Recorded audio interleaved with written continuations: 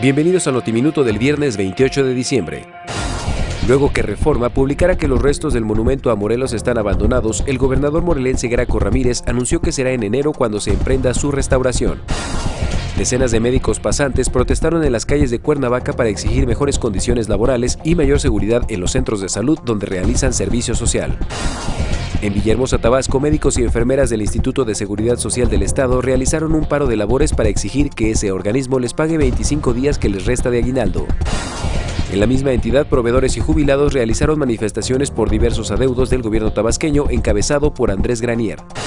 Cuatro niños se desmayaron tras esperar cuatro horas bajo el sol de Acapulco al gobernador Ángel Aguirre, quien les entregaría juguetes. En representación del mandatario, asistió su esposa. Ante el reporte de hombres armados en una casa de Nogales, Sonora, soldados hallaron un arcotúnel que iniciaba en ese domicilio y se extendía por 110 metros hacia la frontera con Arizona. Consulta esta información a través de los portales de Grupo Reforma.